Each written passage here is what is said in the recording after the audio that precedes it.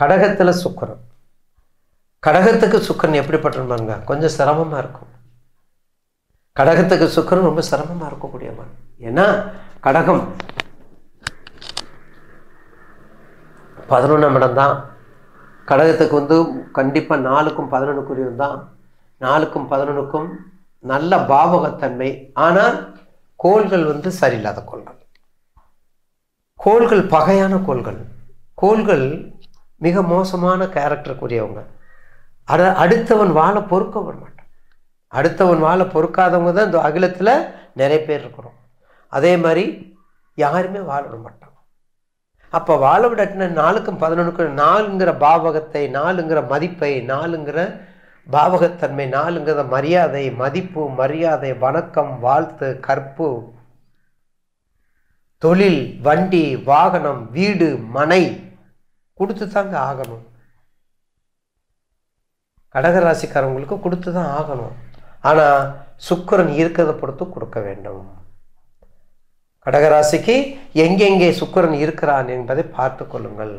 பார்த்தீங்களா? இப்போ கடகராசி கடகராசிக்கு உச்சம்னு சொல்லிடுவோம். கடகராசியில் உச்சத்தினால இருக்கார் மீனத்தில். கடகராசிக்கு உச்சத்தில் இருக்காரு. ம்? அப்போ மீனத்தில் உச்சத்தில் இருக்காரு. அப்போ ஏழு எட்டு ஒம்பதுல இருக்காரு. பாக்கிய அதாவது பாக்கியம் பெற்று உச்சத்தில் இருக்காரு உங்கள் ராசிக்கு. நல்லா புரிஞ்சுக்கணும். பாக்கியம் பெற்று உச்சத்தில் இருக்காரு. கடகராசிக்கு பாக்கியத்தில் ஒம்போதில் உச்சம் பெற்று இருக்கார் சுக்கரன். நடக்கிறது சுக்கர திசையில் புதன் பத்தி புதன் திசை சுக்கர பற்றி நிச்சயமாக நல்லா அள்ளி கொடுக்கும். அதே பாக்கியமாக இருந்தாலும் சுக்கர திசையில் சூரிய பத்தியாக இருந்தால் கிள்ளி கொடுக்கும். கொடுக்காது. ஒருத்தருக்கு ஒருத்தர் ஒன்றும் செய்ய மாட்டாங்க. கொடுத்துக்கிட்டே இருப்பான் அவன் படிக்கிட்டே இருப்பான் கொடுத்துக்கிட்டே இருப்பான் பறிச்சுக்கிட்டே இருப்பான். அப்படிப்பட்ட செயல்பாடு அந்த கோயில்களுக்கு உண்டு.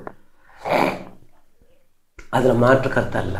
எனவே கடகராசி நேர்களுக்கு ஒம்போதுல சுக்கரன் இருக்கும்போது நல்லது கொடுப்பான். அதே மாதிரி ராசிக்கு ரெண்டில் சுக்கரன் இருந்தால் அது ரெண்டில் உத்தரம் சாரப்பட்டு இருந்தால் பூரம்னா நல்லாயிருக்கும் உங்கள் ராசிக்கு ரெண்டாவது வீடு சிம்ம வீடு அப்போ பூரம்னா நல்லாயிருக்கும் அதே உத்தரம்னா சிரமம். மகம்னா பரவாயில்ல. மகம்னாலும் பரவாயில்ல. மகம் போகிறதுக்கு பரவாயில்ல. உத்தரம் மட்டும் சாரம். ஒருத்தருடைய ஜாதகத்தில் உத்தர நட்சத்திரத்தில் சுக்கரன் என்னைக்கு சாரை வாங்கினாலும் அது நல் லக்னமாக இருந்தாலும் ராசியாக இருந்தாலும் அது கெடுபலனை கொடுக்கும். நல்லா புரிஞ்சுக்கங்க. அப்போ கடக ராசியாளருக்கு கெடுபலன் ரொம்ப கவனமாக இருக்க வேண்டும். ஏன்னா ரெண்டாம் இடத்துல ரெண்டு ரெண்டு ரெண்டு தானடா? நமக்கு ரெண்டாம் இடத்துல சுக்கரம் தானடா தனத்தை கொடுப்பான் அப்படின்னு சொல்லி ஓகேன்னு எதுவும் பண்ணிடக்கூடாது. அப்போ இதுக்கெல்லாம் என்ன பண்ணணும்? நிச்சயமாக கடகராசி அம்பாள் வழிபாடு பண்ணுங்க. அம்பாள் வழிபாடு நல்லா பண்ணுங்க.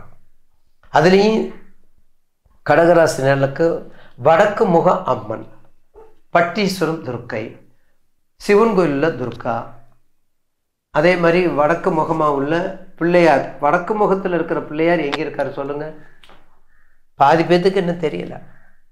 பிள்ளையார் வீட்டில் இருக்கிற எம்பெருமான் எழுந்தள்ளப்பட்ட பிள்ளையார் எம்பெருமான் வந்து வடக்கு முகம் தான். அவர் வடக்கு பேசிட்டு தான் இருக்கார். அதனால தான் அவருக்கு அவ்வளோ பவர் இருக்குது அவ்வளோ வைப்ரேஷன் குருவரலும் திருவரலும் நிரம்ப பெற்றிருக்கார். அதே மாதிரி மதுரையில் ஒரு இடத்துல ஆரப்பாளையம் சொல்லுவோம். அந்த ஏரியாவில் வடக்கு முகத்தில் ஒரு பிள்ளையார் இருக்கார். மேக்சிமம் வடக்கு முகத்தில் இருக்குது மேற்கு நிறையா இருக்குது. கிழக்கு நம்ம சொல்ல வேண்டாம். தெற்கு நம்ம சொல்ல வேண்டாம். மேற்கு கூட நிறையா இருக்குது. வடக்கு முகத்தை ரொம்ப மிக மிக குறைவு. அப்படிப்பட்ட வழிபாடு பண்ணும் பொழுது நல்ல பலனை கொடுக்கும்.